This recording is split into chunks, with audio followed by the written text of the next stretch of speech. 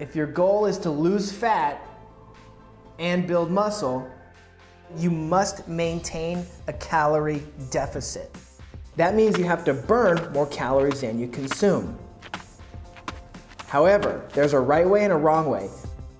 If you learn both of them, you can have your ideal weight without deprivation and denial, or having to have the willpower to overcome nagging hunger for days on end. The right way to count calories is to count calories from satiating food. That means you count calories that satisfy your hunger hormones, which are things like healthy fats, protein, and vegetables.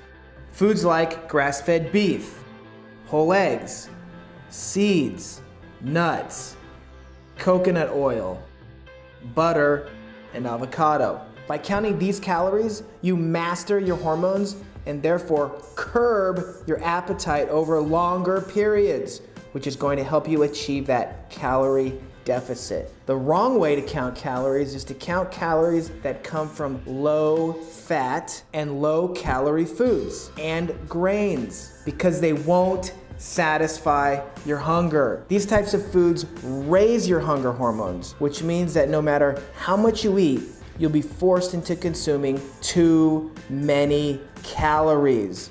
In other words, 100 calories from a donut are not going to satisfy you like 100 calories from an egg. Once you start counting the right calories, you'll be able to maintain a caloric deficit and thus achieve your best